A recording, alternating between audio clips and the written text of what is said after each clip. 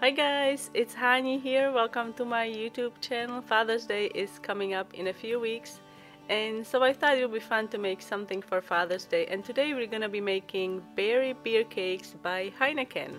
These are fully edible and totally totally delicious. So I hope you guys will enjoy this video and let's get started. To make the chocolate can shells, I'm using Pepsi Cola cans because that's all I had on hand. You have to remove the top where the pull tab is using your can opener. Make sure that you don't cut yourself once you remove that portion. It's going to be really sharp, so be very careful. And then you have to wash these and make sure that you dry them thoroughly so there is no moisture inside. Now we're ready to melt the chocolate. I'm using white candy melts and I added some black candy melts to get a nice gray. Once the chocolate is melted, we're going to take several tablespoons and dump them into the can and then you're gonna swirl the can around almost as um, this was a truck with cement. If you ever seen a truck with cement, you know it's always turning so the cement doesn't harden. And you're gonna do this with your cane check if the chocolate is covering all the sides and the bottom and add more chocolate make sure that you go all the way to the top then shake off some of the excess but don't go too crazy because you want the walls to be somewhat thick or you don't want them to be too thin so they're not gonna break easily now clean up the edge and then repeat as many times as you need I'm going to stick these into the fridge for about 30 minutes. Now to make the top portion I'm going to use a real can to make a template. Trace it on a paper and then you're gonna do the same thing with the pull tab.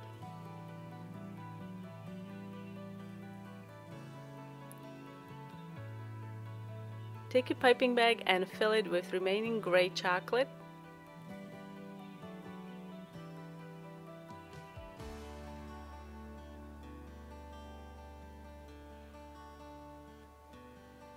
Darn it, I got chocolate all over the counter because I didn't check the tip of the piping bag that I had already trimmed for another project, so I had to start all over.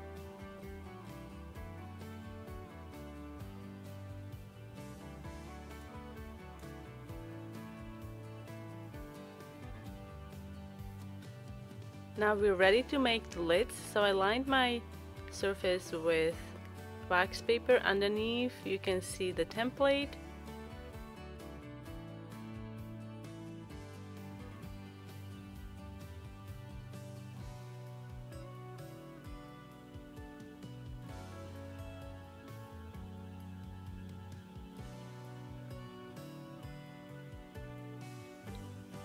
Give it a little shake to smooth out the chocolate and then repeat.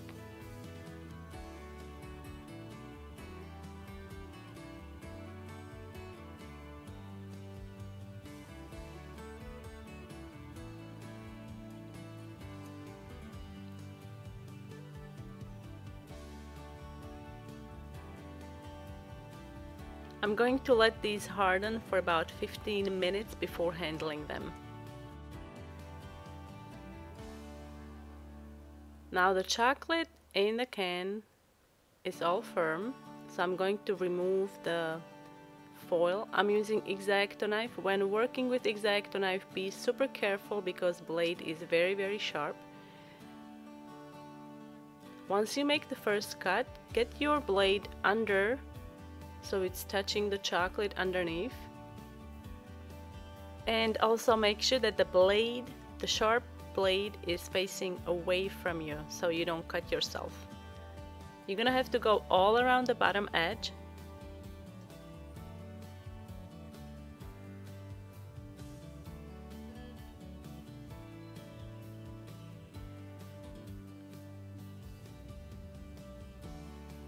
carefully peel off the foil.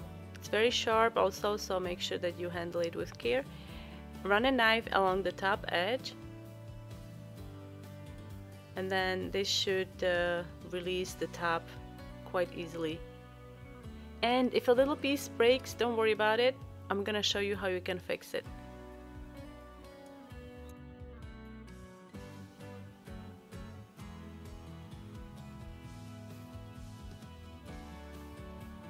On this chocolate can I had a top piece that broke off and I'm going to glue it back on, no big deal. Just use some melted chocolate and stick the piece there and then smooth it out.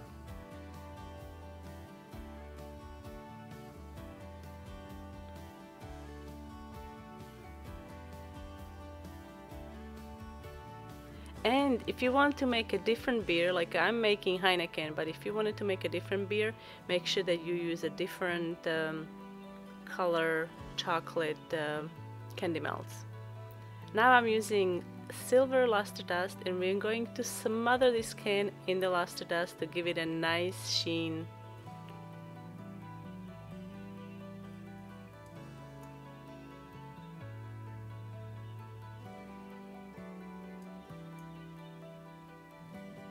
To make the lid, I'm using a metal cookie cutter to cut out a perfect round so it fits nicely on the top from our chocolate uh, rounds. Very carefully press the edges of the chocolate to release it from the cookie cutter.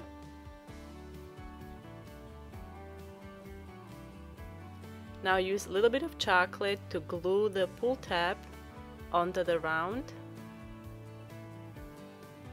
now I made a mistake because Heineken can actually the pull tab is green so I was regretting it because I think it would have been really cool but um, regardless I think these turned out really cute so if you were to make Heineken you can make the pull tab green and then brush it with some pearl luster dust instead of silver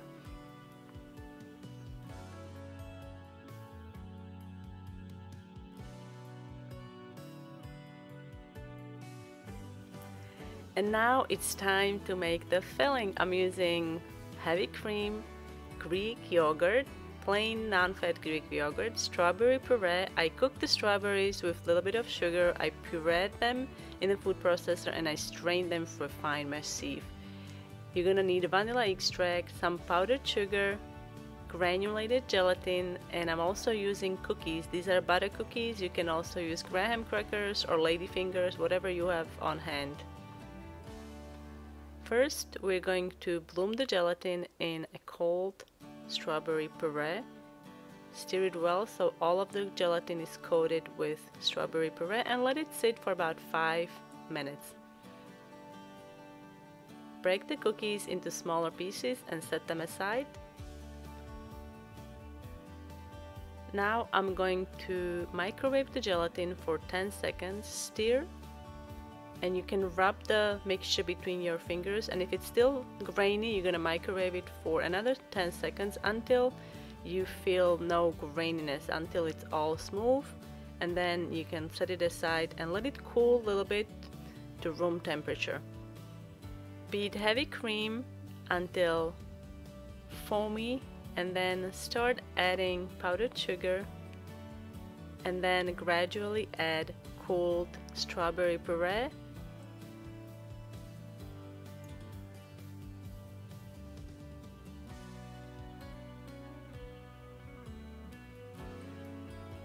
now you can fold in or whisk in yogurt. Now if you don't want to use yogurt you can definitely substitute yogurt for heavy cream. I love tanginess in the yogurt so that's why I'm using it. Don't forget to add vanilla extract. I didn't show that in a video. And now we're ready to pour this into the can. So I'm going to start with the strawberry mousse. We're going to add a little bit at the bottom and then we're gonna layer in cookies and also fresh strawberries. I decided to add fresh strawberries. Strawberries are in season. I just picked up some at a local farm and they're so good. I love fresh strawberries. And especially when they're in season, full flavor and everything. Yum. So basically we are layering the strawberry mousse, cookies, fresh strawberries, more mousse, cookies, strawberries until you get to the top.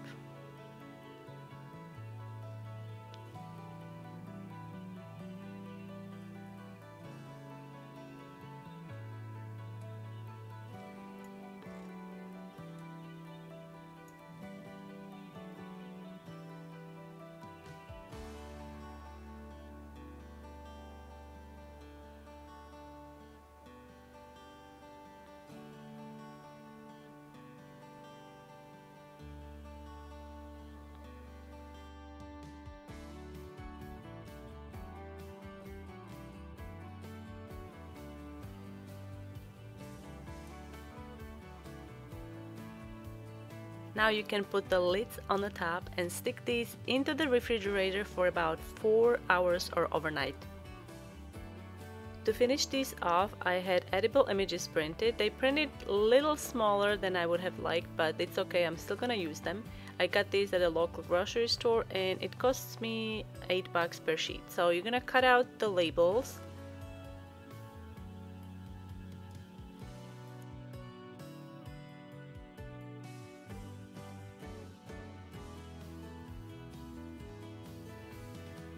so you're gonna remove the backing just uh, get the knife under or the blade some kind of a blade and uh, run it around along the edges and then flip it over. I'm using white chocolate as glue. I'm not using dark chocolate for one reason. It, there's a possibility it could seep through the label so I wanted to make sure it's not gonna seep and I have white chocolate already melted so there is also a convenience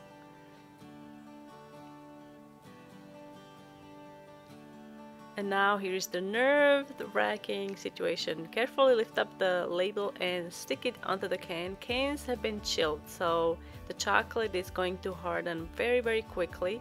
So make sure that you align it and then press it along the edges and in the center so it sticks everywhere and ta-da!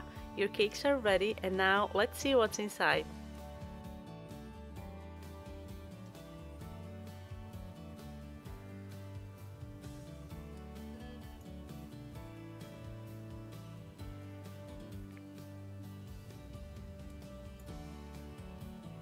Inside is filled with delicious strawberry mousse, fresh strawberries, and cookies. Berry Beer Heineken cakes. Perfect for Father's Day.